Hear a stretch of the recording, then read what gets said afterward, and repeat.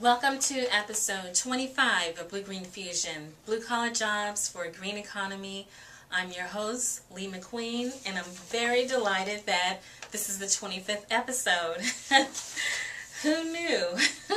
And while certainly we want to work closely with the legislature to uh, see what we can do to hold property taxes down, uh, an awful lot of the, the fees that we get through property tax, whether they be residential or commercial, go to pay for the work that these folks do, plus police, plus fire, plus everything else that we do in the city.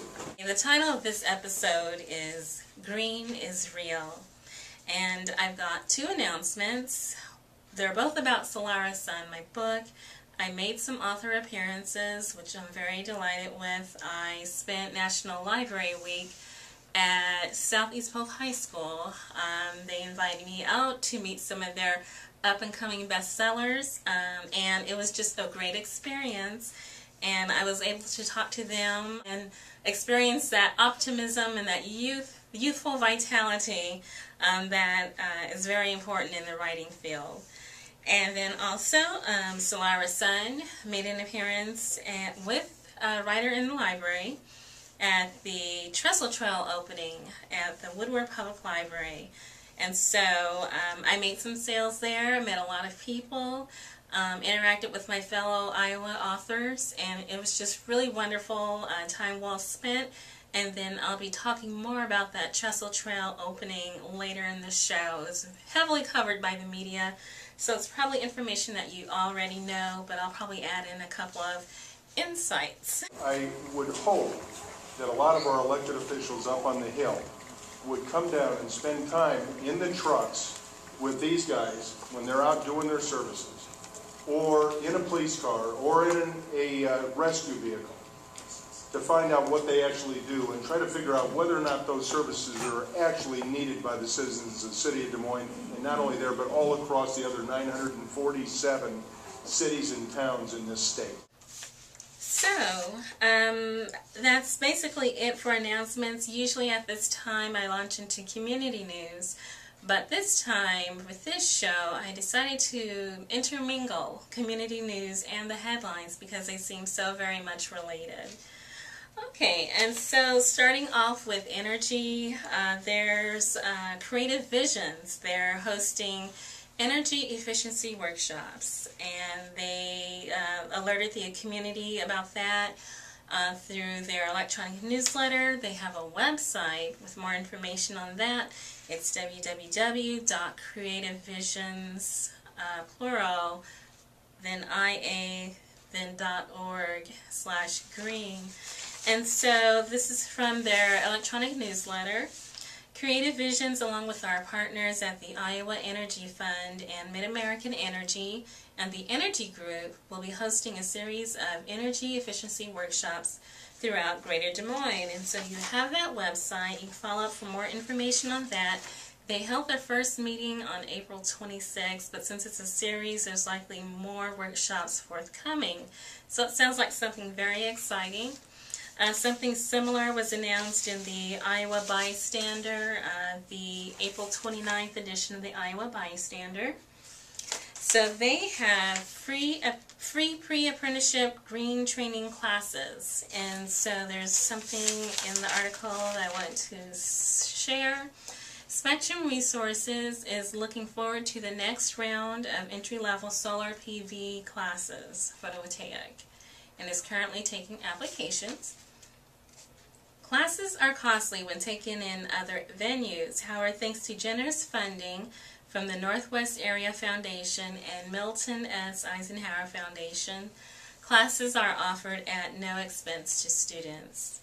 To be eligible, participants must be age 18 or above, have obtained a high school diploma or a GED, fill out an application and submit a resume, go through an interview and evaluation process, take an assessment survey, and then to receive the application, you can go to their main offices, which are located at 1700 Keosauqua Way, that's Des Moines, Iowa, which is slightly north of the downtown area.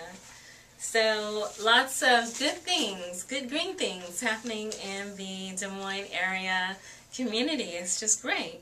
we would like you all, as citizens of the city of Des Moines, to reach out to your elected officials and say, you know what, our city was rated the number one place to do business, the number one place to raise a family, and the number one place in the country to have a career.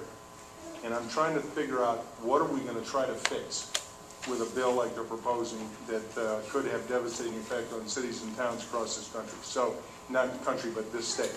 So let's uh, reach out to them and thank you guys for everything that you do and all of our other city workers. So appreciate everything that you do.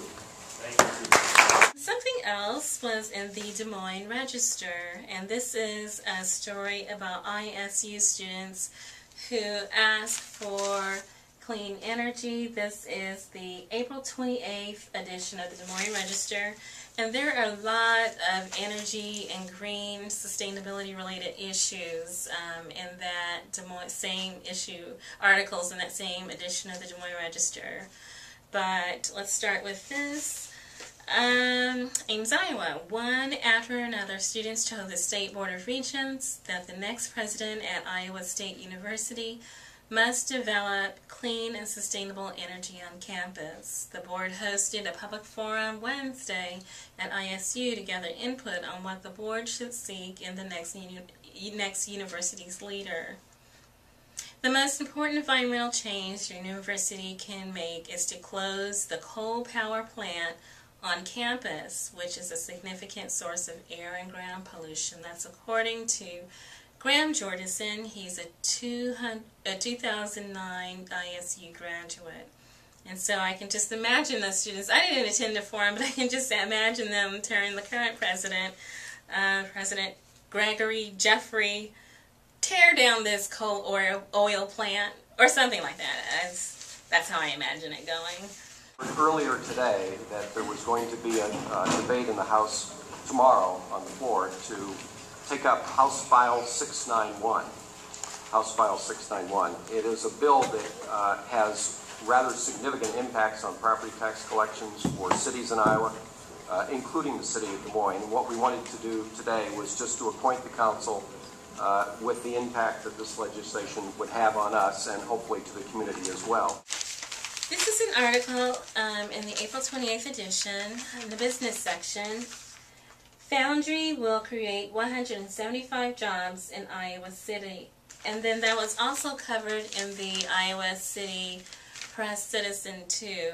Um, but basically, uh, Terry Branstad attended the Iowa Wind Energy Association conference when it met here in Des Moines last April. He made a pretty significant announcement at that venue, which was really great news that um, I've been wanting to share for a while. He already shared it on his website in a press release, but I'll add in my own uh, insight into it. Um, according to this article, a Maryland company plans to build an iron casings foundry that will employ 175 people in Iowa City, by 2013 um, at the Iowa Wind Energy Association annual conference in Des Moines, Governor Terry Branstad announced that NADICOM, the North American Ductile Iron Company, plans to locate its first North American foundry in Iowa City. Debbie Durham, director of the Iowa Department of Economic Development, said NADICOM was impressed by the statewide support of wind energy. Um, Iowa is the nation's second largest producer of wind energy second only to Texas. The article continues. Durham said 80 companies now support Iowa's wind energy industry, employing 2,300 people. Plans call for the foundry to be built at the city's wind energy supply chain campus, which is near Scott Six Business Park. The Iowa City Development Group and city officials have been hoping to lure parks manufacturers for wind energy industry to the park which would be near two major wind industry companies, Acciona Energy North American Corporation in West Branch, and then Clipper Wind in Cedar Rapids. It said that the foundry would employ non-union machinists, engineers, and administrative staff, among others. Ultimately, the foundry could provide products to other industries, including rail and agriculture.